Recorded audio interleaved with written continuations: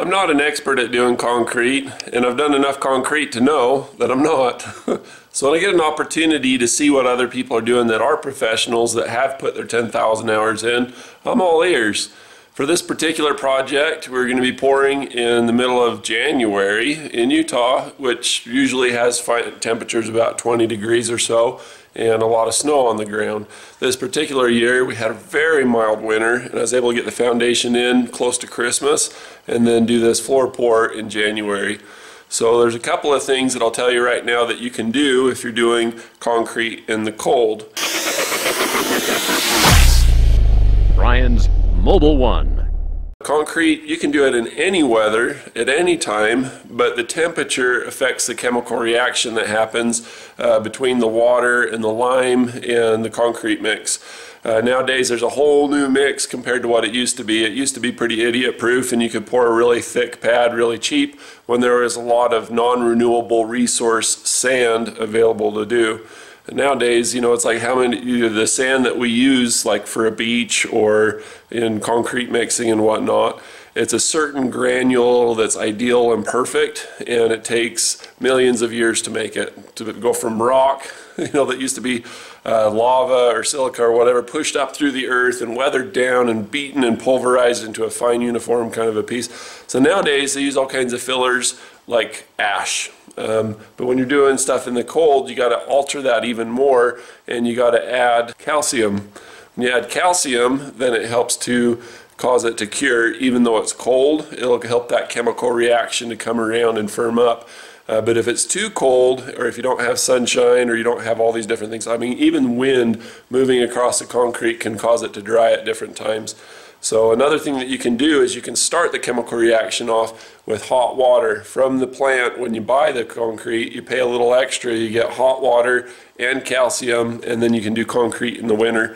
But then there's certain precautions that you have to do to make sure that on the second or third day it doesn't freeze. Because remember, water is one of the components of concrete, and wet concrete, as it's drying, that water can freeze. That freezing causes an expansion. It can break those bonds that are being formed as the concrete dries.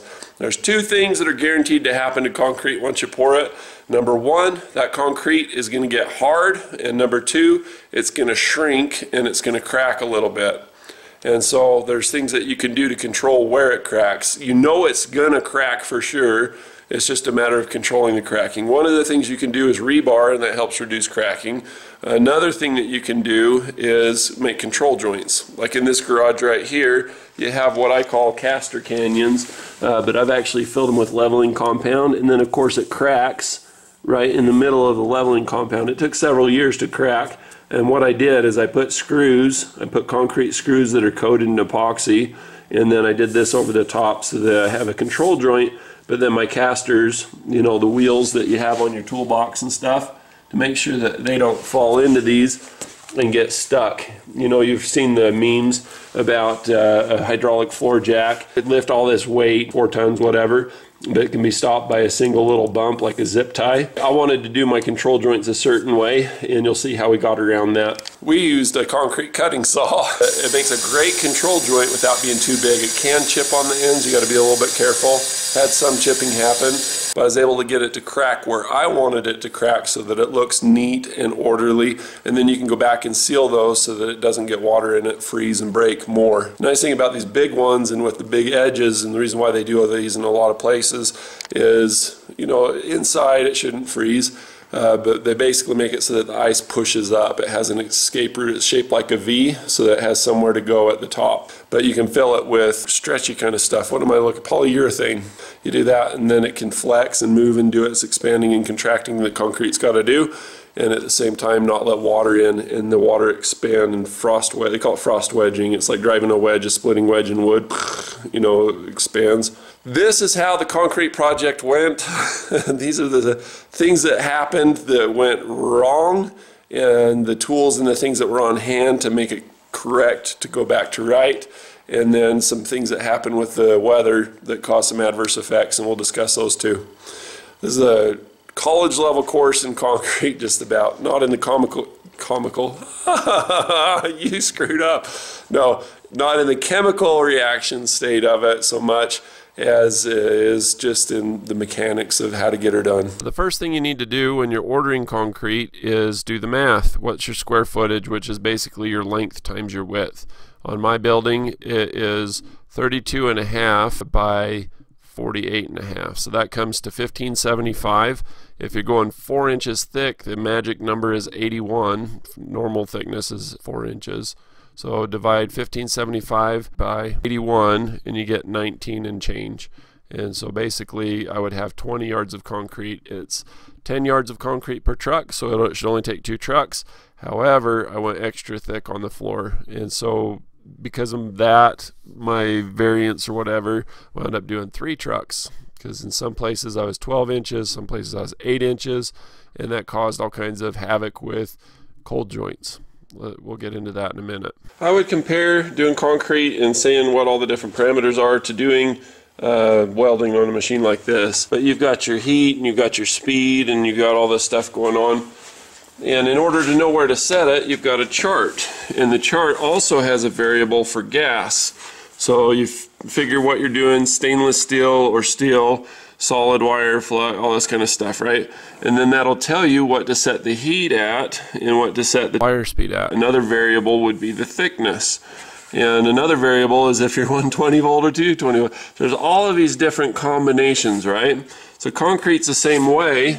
Uh, but your variables are your wetness, how much water you're putting in it, um, how many bags mix per cubic yard yard, and there's all kinds of other stuff with it, and we'll go over those right now. This is my concrete price sheet, or, or, how you order it. If you're gonna order a pizza, it's easy because you've done it a few times. The first time you did it, you know, it's like, what's your special? What sizes do you want? What do you want on those pizzas? And where do you want to get it from? Concrete's the same way, depending where you get it you may have to adjust up or down on what your slump is. We'll talk about that in a second. And you may have to change uh, what bag you have, you know, like a six bag, seven bag, five bag, or whatever it's going to be. Um, the main thing on your order is, you know, like what kind of pizza do you want? What are you doing? Uh, we're doing a floor and we're going to burnish it. And the burnishing, if the concrete people know that, then they know that you don't want to put air in it. If your concrete's going to be outdoors like a driveway, sidewalk, uh, barn floor that's not heated and air conditioned, uh, then you do want air in it. So these are just micro teeny teeny tiny little bubbles that kind of work like the pea gravel or the rocks do. They kind of create a space between and it's a compress and expansion kind of cushion in the concrete so that it doesn't crack and break up so much when it's uh, getting warmer and colder.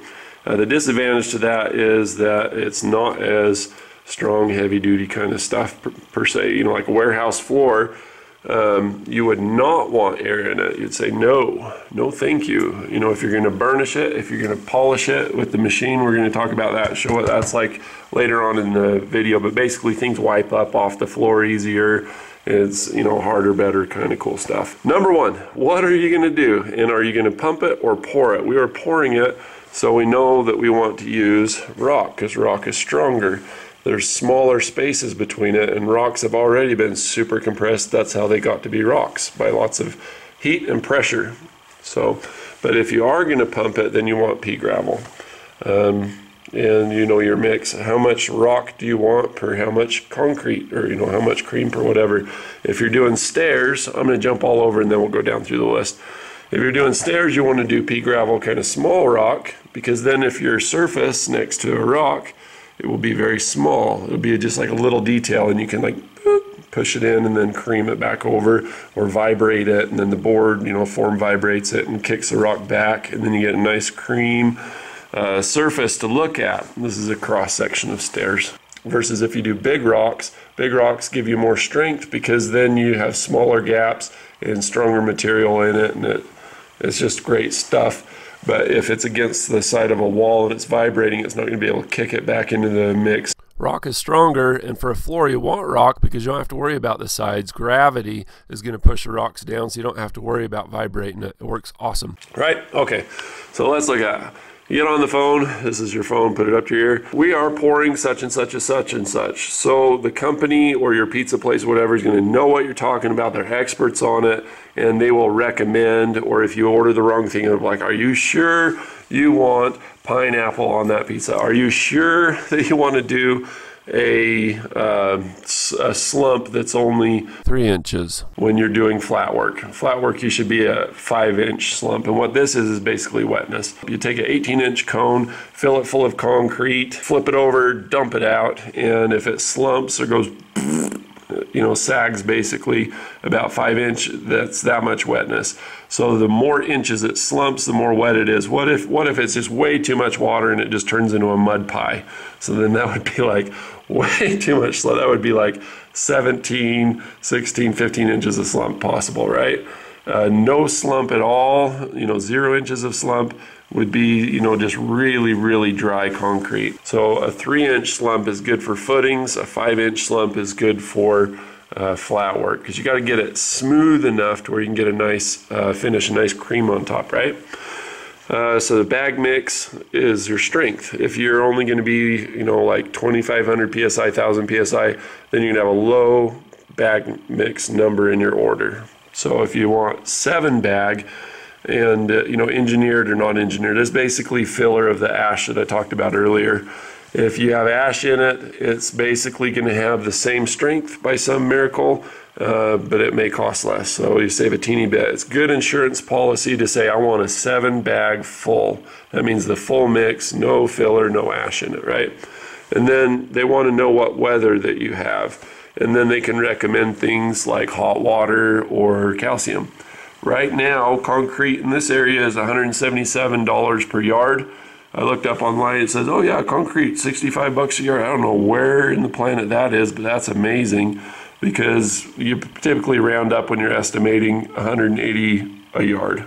And that's three feet by three feet by three feet cubed. You know, that's a cubic yard of concrete. If you want to add hot water, it's five bucks a yard. If you want to add per 1%, uh, calcium, it's five bucks a yard per percent. So if you wanted 2% and you wanted to kick off really fast, like all hands on deck, working like crazy to get this stuff done, it would be 10 bucks a yard. So if you had uh, five yards, it would be 50 bucks. Got it, easy. So we know what slump is, it's how much water's in it. We know what the air's for, it's for outdoor concrete and the place that heats and cools a lot like Utah. Bag mix, we talked about that. More bag mix, more strength, PSI. Also for the wetness, it's like how easy is it to move around? How easy is it to get the cream and get a smooth finish? The more slump you have, the harder it is to make stairs. Stairs, what would that be? It would be like maybe four. I don't know, I don't do stairs. And this example is basically what I am learning from. As far as the weather goes, we know about additives and what we're going to do for that. And then for pea gravel, if you're going to pump it through a tube, then you need to do pea gravel. If you're going to do nice, pretty edge stuff, pea gravel. Otherwise, rock has a strength advantage. That is a lot to take in. So feel free to pause the video, review it, rewind, whatever. Make sure that you get this question answered correctly. What are you pouring when you call it in? And then they can help you with the other stuff or ask for the recommendations. Don't be afraid to do that. Check the weather, check your measurements, and know what you're pouring, and you'll be in good shape. Now that we know all of this stuff, let's look at some fancy power tools of the trade of doing concrete and look at some of the techniques for making the floor really nice and flat. But you have to get your utilities in before you do your floor. Anything that's going to come up through the floor, get it done, backfill it, compact it really good. Once you've compacted it, the next step is to lay down your gravel. When you've got your gravel laid down, and hopefully you have a good driver that makes it a lot easier for you. Thanks, Greg. Spread gravel. It chains it so it doesn't open all the way. It makes it work like a dispenser. But once you've done that, then compact it again. Most of my floor, and according to city code, you have to have your stuff sit for what like three years and let the weather make it rock hard. Other thing you can do is when you excavate it, make sure that you use a butter blade. No teeth on the excavator, no teeth, uh, skid steer, whatever you're using. It's got to be the smooth blade so that everything's cut and compact. Because otherwise, if it's loosened, it will settle. So we got the lines all marked out. We got it five and a quarter plus whatever variance in the gravel.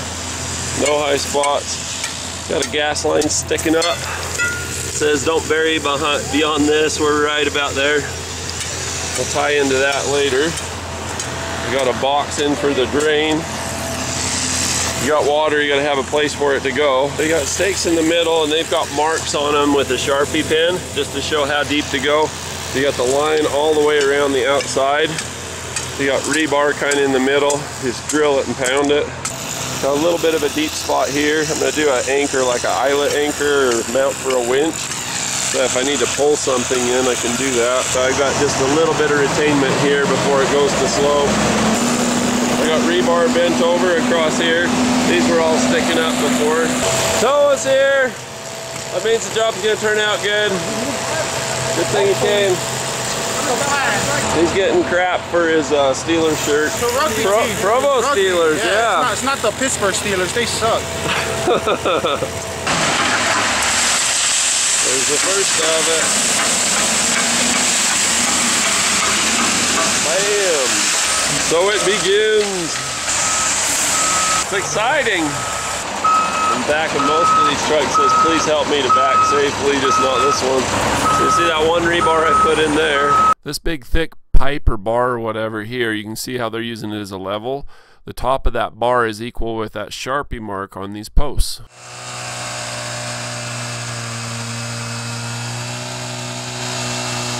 When you twist the handle, it changes the angle of it. So you go clockwise or counterclockwise, it'll make it move like that. I got this all braced up because you can't make it perfect straight up and down when you're wrestling all the other stuff. See the rebar sticking out.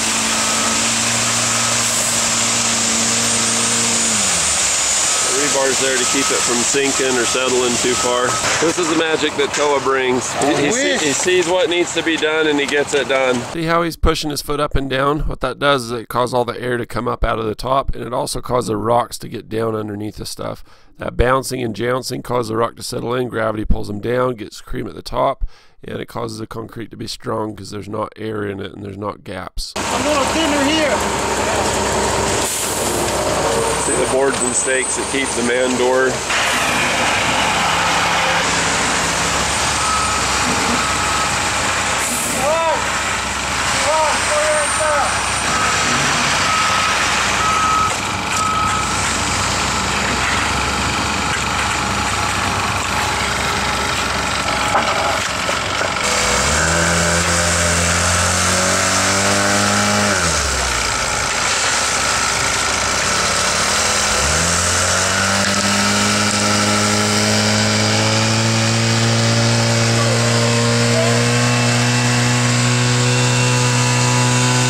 Yes, fine. There you go. There's more to this than you think to get everything just right and just level. Takes a lot of guys. So who's got the better job, these guys or you? Oh, we do. You do for sure. A lot easier.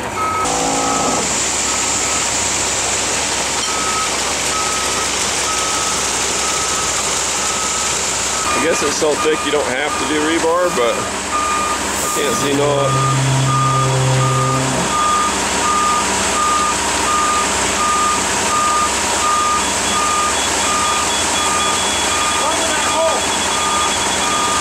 So running the level and they set the bar and that helps the screed machine. The fiber strike, that sounds cooler than power screeder. Power screeder sounds nerdy. That makes it so you get a lot done quick with good accuracy. We're letting the concrete hold up the rebar.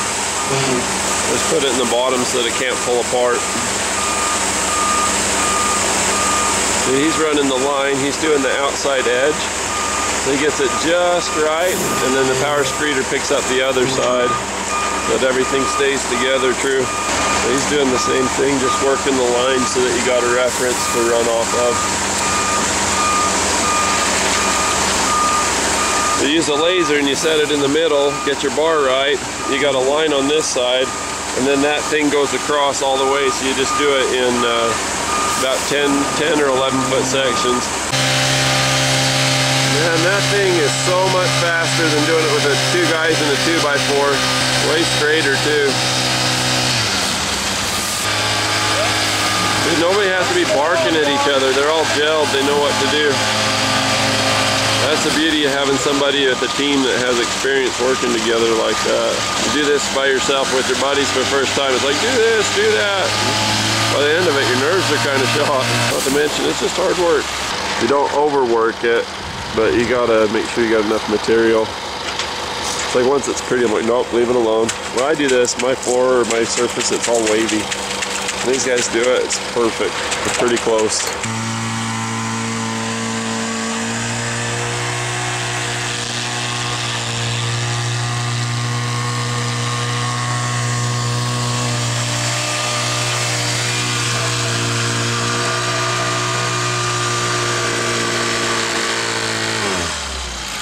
Those little blobs of concrete. They put those in the middle as pylons. So they just took a little piece of that off and that made up the distance to be able to do that. He's coming out to do clean out now. So that's two trucks. We need a third truck, obviously. And they're just taking forever. They said they'd be 15 minutes and it's been almost 30. There's a 40 minute gap between the last truck and this one for pouring. We gotta feed them some cord. Still doesn't even look like we're gonna have enough concrete even with this truck. At least he knows what to do. He's vibrating between the old pour and the new pour. With the old pour, you get all these air pockets and things. You create all kinds of weakness and cracking in the floor. You see, he's tamping it hard, trying to get the liquefaction going again. Telling him get it up so it splashes it in. You got to get it to splash because you got all the air pockets that have been forming the whole time we've been waiting for the truck. Getting into some good cream. But all the rest of this would not, it wouldn't screed for anything. Just too hard on the sides. It's hard to get it exact when it's been sitting for 40 minutes. You see Brandon over there with the whacker vibrator trying to get things to settle in. I was frustrated and I caused the problem and I didn't know it and that added to their frustration. Putting the board in now. We kept it out so we could drive trucks all the way up in there. Brandon's a friend of mine. We go riding and skiing together and he didn't even call me out on what was going on. He just rolled with it and made it work. Watched this screed really fast and easy and now you just got to fight it and fight it and fight it. Way, way harder if you don't get one continuous pour. So this is a big long one that he was getting it done so fast with. Now he's got to do a short one and even with the short one it just takes forever. So when you have an interruption in pour, like I said, it's a lot more work. It creates a joint that you have to unjoint through all this vibration and beating and settling you really got to work to get it back. The good news is these guys have the equipment to do it. If you didn't have the vibrator, or you didn't have the shorter street thing, or if you weren't equipped for it, you'd be screwed. So whenever you get concrete, you have to wash it out and have a place to do that. Or if you have a gravel driveway or something, you can just spread it out, just hose it down. Basically what you're making is just a thin layer of really, really weak stuff so when you drive on it, it just blends in with the rest of the gravel. When you're done, you just take all your tools, lay them out. Again, it's nice if you have a gravel driveway with your project. You can just rinse all your tools off into the gravel, spread it out, drive it over. In the spring, it's just the same as all the rest of it. So it was my very own, yeah, it was there uh, a month. Oh. Cool. And uh, just banging concrete off of everything, pulling all the stakes out. Everybody's troweling around the outside. We got Toa in the corner. Hey, who put Toa in the corner? Nobody puts Toa in the corner. Toa, you gonna take that?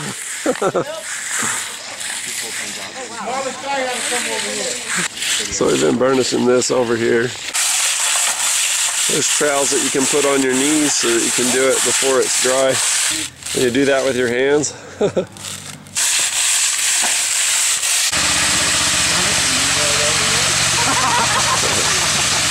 so all of this been troweled and gone over pretty good. And now we're going back over what the third truck, you know, that 40 minute wait. We waited about an hour, but the problem is it cooled down, so we're having to wait even longer.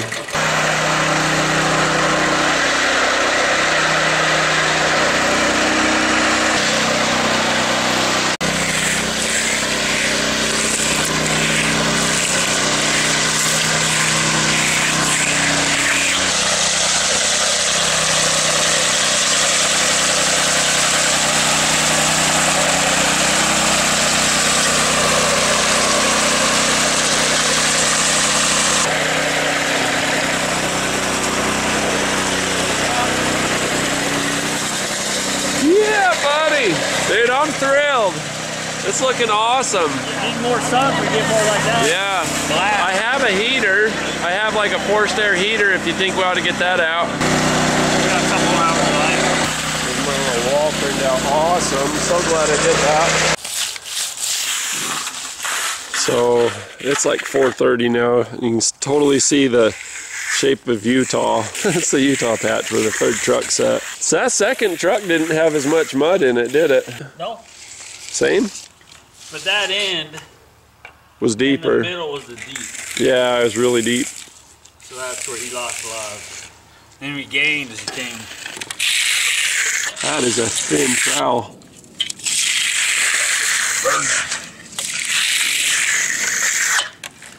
The burn, I can do that by hand. Yeah. You have to go over like three times. You see the line where the cold edge is. Is it good? This is slick. See it? The floor actually turned out really good. I couldn't be happier with a lot of aspects of it. Uh, it was exothermal for a couple of nights, and then on the third night, a cold front came in, and this is what that looked like.